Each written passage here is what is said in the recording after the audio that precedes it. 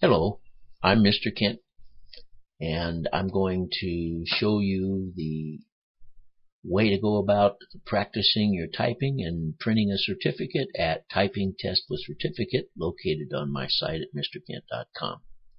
When you get to the page, you'll notice down near the bottom of the page you have a few selections you can make. The type of test, for instance. If you take a look here, there's plain English, random letters, random letters and numbers, and random letters, numbers, and punctuation. Now, if you're a beginning typist, and I know you're not going to want to do this, but the best place to practice is on these lower three with the random letters and numbers. This will improve your uh, accuracy, and your accuracy will get better and better as you practice with these. Once, once you get your accuracy uh, taken care of, then your speed will automatically increase. Uh, whereas if you try to go for speed and forget accuracy, your accuracy will never increase. When you go to take a typing test for a job, uh, you probably have a rough time.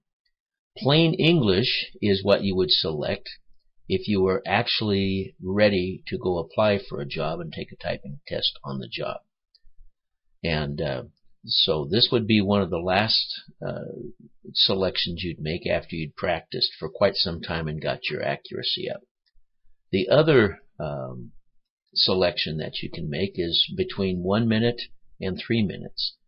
Most job agencies will uh, have you take a three minute typing test. Some will do five, but most three. And today we're just going to go with plain English and we're going to use a one minute test. So when you're ready to begin, you simply click on Begin Your Test. When you do that, the uh, page will generate a whole bunch of text that has been brought up from different things that I've written for this website. So you simply begin to type. And as you type each word correctly, you'll notice that they turn white.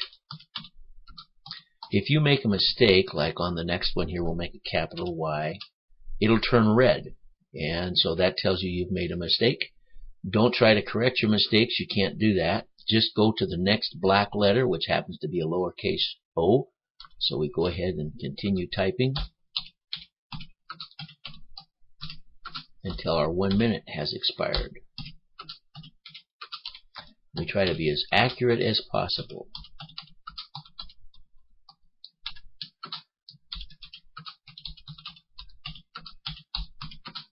Whoops, I made a couple of mistakes for some reason there.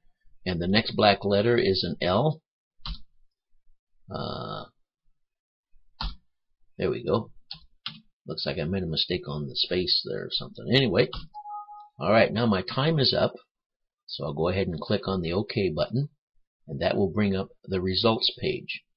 You'll notice up here it's, it shows you how many characters were available for me to type during that one minute period. And down below that, it shows what I actually typed. And there's every mistake I made still shows up in red. And as you can see, altogether, I ended up making five mistakes. And I typed for one minute. My total, uh, my score was 12 words per minute, which, uh, you know, is pretty slow. But I'm going to go ahead and click on Print Certificate. I click on that, and it's going to want to know what name to put on the certificate. So we'll put down Mr. Kent and click on continue. And there is our certificate. Now bring this up a little bit here. And you can see um, this will print off and make a pretty nice uh, certificate that you can place in your portfolio or turn into your instructor. And it says this is to certify Mr. Kent has successfully typed 12 words per minute over a period of one minute.